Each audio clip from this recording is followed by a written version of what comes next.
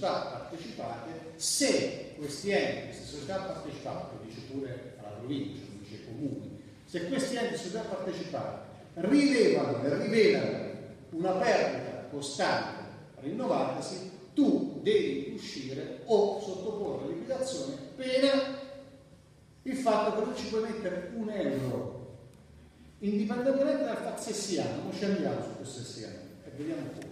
Non ce lo puoi mettere. La legge regionale che disciplina la partecipazione della regione Abruzzo in fondazione è una legge, io lo definito un termine forte. Mettiamola così, la volontà era anche positiva, però là sta scritto senza onere a carico del bilancio regionale cioè la regione partecipa alla fondazione senza onere a carico del bilancio regionale. Perché si fece così? Proprio perché, a mio giudizio, gli uffici allora a chi confezionò la legge diedero un giudizio di impossibilità a stanziare delle risorse finanziarie. Questa è la fotografia che coincide più o meno con la fotografia del professor Fratoni. Che cosa abbiamo fatto? una delle primissime cose, prima della nomina del professore. Io ho chiamato, convocato tutte le direzioni della regione Abruzzo, 12 gruppi, e gli ho detto guardate, c'è il nel Sud. Che possiamo fare? Che cosa di cui abbiamo bisogno noi che andiamo a prendere fuori e che invece possiamo far fare al del Sud? Oltre alle direzioni c'era l'ATA e c'era l'Agenzia Sanitaria Regionale, tutti convocati. Possiamo sapere, ognuno di voi, qual è il fabbisogno scientifico, di servizi che il Mare Negri fa, che invece di andare a reperire al mercato li facciamo fare semplifico al Mare Negri, dando delle commesse anche piccole di lavoro man mano per cercare, come dire, di far ripartire un po' la macchina per quello che si può, perché quale fu la conclusione della lettura di quel bilancio? Se la differenza è 6 milioni di entrate, 3 milioni di uscite, Intanto dovresti tagliare 3 milioni di uscite per pareggiare, ma anche aumentare la parte delle entrate. E aumenti la parte delle entrate aumentando le commesse. Questo era il tema. E c'erano anche alcuni del Mar Nero a quella linea. Ci fu un giro tra tutte le direzioni, tra l'agenzia sanitaria, l'ARPE. Primo problema che si può un problema tecnico. Le ASL hanno i fabbisogni, ma possono affidare direttamente i lavori al marionetto? No, sotto soldo. Possono fare, affidare un milione di euro, due milioni che pure di cui hanno bisogno, lo possono fare? No, ci vuole gara. Non è detto che Marionelli non la vinca, sia chiaro, ma quella riunione arrivò a queste conclusioni circa la difficoltà di affidare direttamente al Mario Negri queste cose. Mettiamo caso, col senno del poi è anche facile fare una valutazione, però facciamo questo.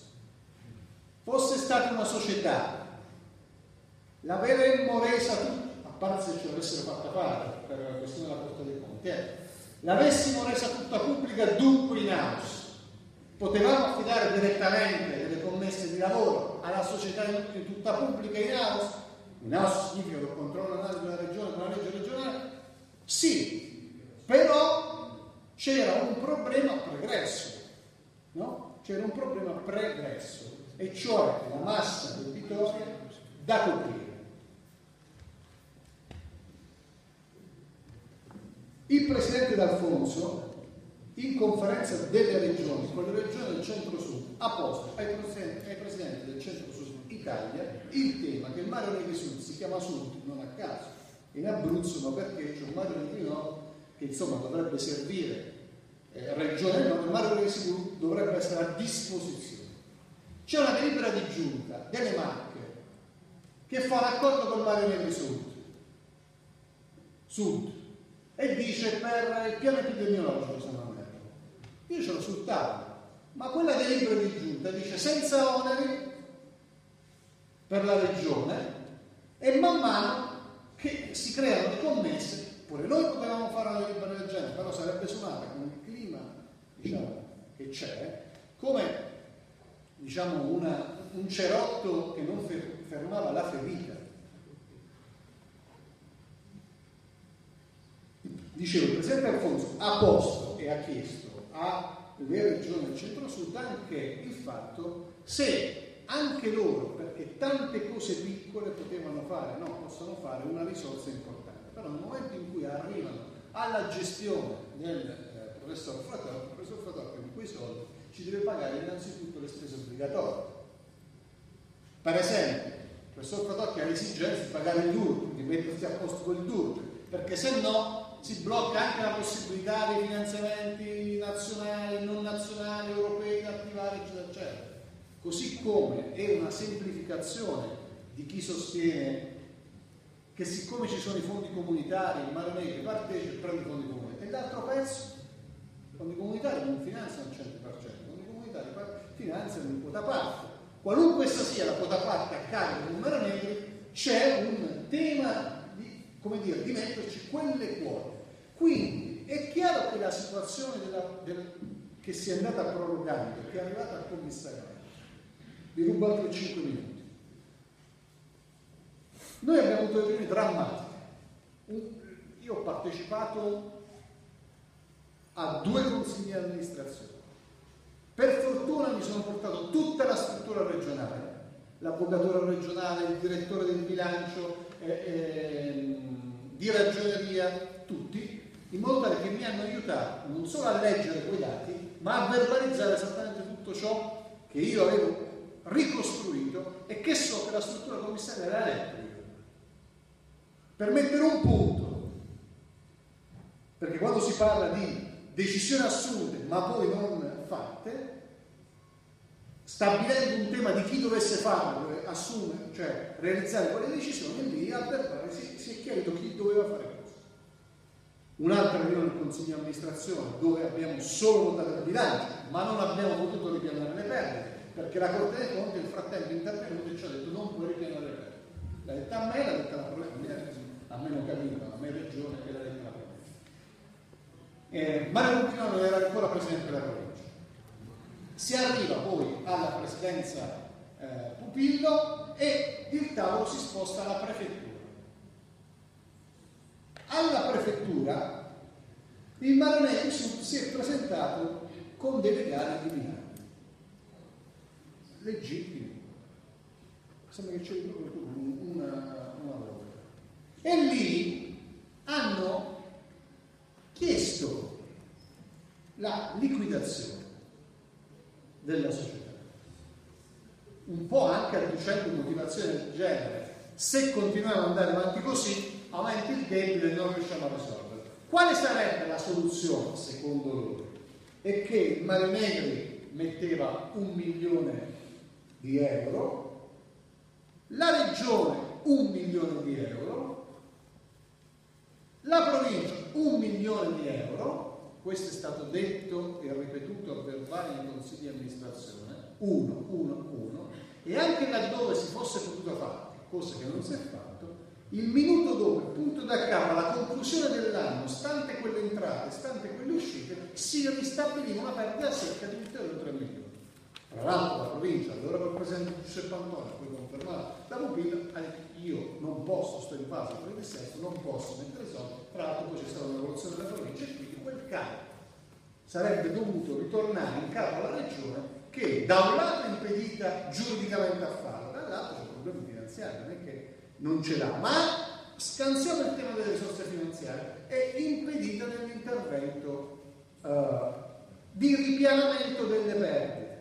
Tant'è vero che ogni volta che la, la regione intervento di ripianamento delle perdite che poi deve essere utilizzato con legge regionale, legge regionale che puntualmente viene impugnata dalla Corte Costituzionale, sapete la storia dell'aeroporto d'Abruzzo, ogni volta che abbiamo fatto una legge di ripianamento delle perdite o comunque che assomigliava a una cosa del genere, c'è stata puntualmente bloccata, tant'è che l'aeroporto d'Abruzzo deve restituire per precedenti eh, dazioni 5 milioni di euro alla regione Abruzzo perché gli aveva dato il poteva dare. È cambiato il mondo e non si entra nel merito, che una cosa è l'aeroporto, una cosa è l'acqua, la sanità, una cosa è la ricerca cioè quello che dite voi. Purtroppo la norma non entra nel merito della qualità e delle ragioni per le quali le risorse vanno a finanziare cose. E Manuel Sud lì ha ipotizzato la liquidazione per la impossibilità di ripianare questa situazione e di aprire una nuova stagione con un'altra soggetto nuovo, quindi portando in liquidazione questo. Noi abbiamo detto chiaramente di no, che, no, che ritenevamo questa la cosa peggiore per i lavoratori, per i ricercatori, eccetera, eccetera. E quando il, pre, il rettore è arrivato, il, rettore, scusate, il, il prefetto è arrivato alla determinazione della liquidazione, noi a quel tavolo abbiamo chiesto, ribadito più volte, la terzietà del commissariamento. Cioè abbiamo chiesto, noi vorremmo un commissario autorevole, scelga lei, che sia terzo dalle vicende, dalla storia, dalla gestione del mare Sud. In quel tavolo Mario Negri Sud aveva, no, aveva rappresentato l'opportunità, secondo loro, invece di avere una figura interna perché conosceva la storia. Noi invece noi conosce uno terzo che legga tutto in modo esterno, non perché non ci si fidi, ma perché credo che quando c'è un commissariamento su una cosa del genere, sono state consumate decisioni, sia necessario e non possibile che ci si metta uno dell'interno, ci si metta una figura terza, indipendentemente dalla professionalità dell'interno, non era quella discussione. Era una necessità che consente la libertà al commissario di farci la fotografia di Pietosa. Allora io sto a quello che dice Giovanni Di Fonso. Consideriamoci convocati in seduta permanente. Eh, mentre venivo qua in queste ore con l'assessore Paolucci, con gli altri, c'è un problema vero. Adesso faremo un incontro con il, il, il commissario e con i subcommissari. Vedremo un incontro direzione per direzione, vediamo che se da quella iniziativa assunta possa emergere qualcosa. Però io credo, per essere onesti e reali, che non credo che ci siano commesse tali da poter far respirare un po', o meglio, farli solo respirare, ma che poi il commissario si trova a dover gestire quelle commesse per le immediate emergenze giuridiche che lo obbligano a metterlo prima una parte rispetto all'altra, per esempio gli obblighi contributivi, se non paghi sono anche penali le questioni, quindi ci sono tanti effetti a riflesso, questo è tutto. L'alternativa a questo lo si può solo immaginare quando si ipotizzerà e si determinerà e si arriverà alla conclusione che, che non ci può non essere che l'alternativa. E su questo noi ci riteniamo impegnati a immaginare eventualmente un altro contenuto, contenuto, contenitore che possa salvaguardare il patrimonio di conoscenze, di lavoro, di ricerca fatta qua perché non scompare il mare negro. Ma è chiaro che è l'ultima delle questioni che ci poniamo, ma per essere, come dire, realisti fino in fondo, è una questione che sta sul tappeto, che non lo decido io, non lo decide la politica, non lo decide la regione, lo decide il commissariamento il prefetto quando verificherà che su quel burrone forse la scelta è, è inevitabile. Se avverrà questo, noi ci stiamo e con i poli di innovazione, con questi giganti che stanno dentro il polo della ricerca, una qualche diciamo, un nuovo ragionamento con un piano industriale che abbia la capacità di una sostenibilità vera, perché noi ce la facciamo a mantenere una cosa che ha 6 milioni di entrata, 6 milioni di uscite e 3 milioni di entrate. Questa cosa non, non se la fa. Nel tempo si dirà, ma allora si poteva fare, si potevano fare delle manovre, si poteva fare in modo che la cosa si presendiamo, però questo non si è fatto. E nel frattempo si è arrivati a questa situazione Siccome la prima volta che sono arrivato a Maranello, io ho detto che mai avrei preso in giro nessuno, soprattutto chi sta in difficoltà, e cioè ipotizzando soluzioni di cui la regione non dispone, anche non prendendomi di cui non dispone perché non ne può disporre. Perché se ne potesse disporre, per noi questo potremmo dimostrarvi che faremo di tutto. Fino a, noi facciamo tutto ciò che ci ha consentito la legge e anche di più. Però il di più, il di più non è la soluzione che ho la bacchetta magica. Abbiamo un confronto con i presidenti delle regioni, abbiamo un confronto con il Ministero e i ministeri competenti. E poi c'è un altro problema che venne detto in occasione della riunione fatta in regione con i capi dipartimento, con le direzioni, eccetera, eccetera. Se c'è qualcuno che lo ricordi, in quella direzione c'era la l'allora direttore Crocco, che pose il tema per quanto riguarda anche i rapporti no, tra struttura esterna della sanità è il tema del commissariamento. Ci disse guardate, noi ogni spesa, diceva, c'era la dottoressa, che ogni spesa noi non abbiamo più la possibilità di avere una gestione autonoma perché fino a quando non c'è questo maledetto commissariamento, maledetto lo dico io, non lo disse, maledetto lo dico io, fino a quando non c'è un commissariamento abbiamo zero spazi di manovra. C'è la legge sugli affidamenti che è una cosa. Io non dico come si aggira la legge sugli affidamenti, perché se c'è un ente di ricerca che lo fa solo lui quella cosa, eh? No? Si arriva ad un affidamento diretto, ma per farlo devi essere autorizzato dal tavolo di monitoraggio. Quale tavolo di monitoraggio oggi blocca qualunque tipo di iniziativa? Allora questa è la, questa è la realtà.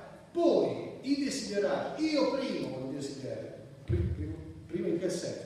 Immaginatevi che possa rappresentare per me, per la regione, per Alfonso, dire abbiamo risolto il mare del sud, abbiamo messo in bolis, abbiamo fatto quello che dovevamo fare. È chiaro che sarebbe un risultato straordinario, ma non tanto perché risolviamo il problema delle persone, che è la cosa importante, perché, perché qualifichiamo la regione Abruzzo avendo risolto il problema movimento. È una cartina attorno a sole, tant'è che io poi parlerò col commissario. Vogliamo ulteriormente accendere questi riflettori, vorremmo portare l'esperienza del Mare Negra all'Expo di Milano, troveremo un modo anche per raccontarla all'interno delle iniziative che faremo a Milano, perché lì si incrociano tante cose a Milano. In quei giorni, c'è anche questo desiderio, che non è la soluzione, ripeto, è il battagliamento che vogliamo fare fino a evitare, se è possibile, la liquidazione. Se non è possibile la liquidazione, si passa al piano B, che però c'è nelle ipotesi c'è nell'ipotesi. È un piano B che però non può essere la fotocopia del piano A, cioè la riedizione di tutto esattamente la struttura che c'è adesso, con i costi che ci sono adesso e, e con, la, con, gli organi che ci sono adesso. Questa è la uh, uh, verità unica, senza arrampicarsi sugli specchi e senza tentare nessun tipo di scuse, di accampare scuse, ma dire esattamente così come sta la verità. Quindi per dire praticamente che faremo eh, intanto ci riconvocheremo senza dare a questa convocazione chissà quale speranza, ma la consideriamo una riunione di lavoro. Per non mollare, con le direzioni, con l'arte, con l'arte, per vedere se quel lavoro è stato fatto. Qualche risorsa la stiamo sbloccando Penso che non ci sia molto ancora tempo da aspettare per l'approvazione del nuovo bilancio, quel famoso 400 mila euro del vecchio bilancio, che stanno ancora, sì, però quel 400 mila euro l'ex Presidente della Commissione bilancio sa che erano legate ad un'attività di verifica. Però poi l'abbiamo rimessa in campo con l'ultima, con l'ultima legge. Sì, sì, però, però erano legate ad un'attività di verifica di fondi bravo, della FIA che doveva fare e man mano che queste somme si rendevano disponibili potevano essere erogate. Io vi posso garantire che abbiamo il malloppo di lettere rinviate, rinviate, sollecitate, perché poi la FIA non è che doveva fare un lavoro semplicissimo, per ogni settore, per ogni fondo doveva fare la verifica consultiva, per poi io credo che stiamo in una fase avanzata adesso tutto questo tempo per arrivare al finanziamento di questi 400 mila euro, ma che non sono ripeto, la soluzione dei grandi problemi che ha il commissario e che ha il Questo quindi noi ci possiamo vedere una riunione prima operativa con il commissario, con la regione Abruzzo e con le direzioni e poi tutti gli altri passi necessari da, da fare. Stiamo cercando di studiare anche soluzioni giuridiche che possano tenere, che ne so, si partecipa un bando da una parte eh, diciamo che è a carico del Mario Negri, in qualche maniera la si sostiene in modo differente, sono tutte ipotesi però di scuola che poi si scontrano e a volte perdono quelle regole rigide che ci fa l'Europa e che ci fanno il bando. Eh, tra le cose che sono state dette, me lo diceva proprio una professoressa, ci sono quei soldi che diceva, ci sono quei problemi che diceva il professore su questi, su questi 800 mila euro, non possono, eh, non possono essere... Esatto, su questi progetti non possono essere sbloccati perché c'è ci manca quella parte del finanziamento. C'è anche il problema che noi per esempio non possiamo, noi, fondazione, eh, non può partecipare ad alcuni bandi proprio perché è fondazione e non è società, per esempio. e questo tutti lo sanno, tutti lo sanno, che ci sono dei bandi chiari, è una delle prime cose che voi mi avete spiegato, che sono andato a verificare, è che ci sono dei bandi dove l'istituto giuridico societario o consortile avrebbe potuto partecipare e la fondazione no. La fondazione fu un errore clamoroso, cioè il senno del cuore, con una buona fede di allora, fu un errore clamoroso e oggi ci troviamo in questa situazione anche di possibilità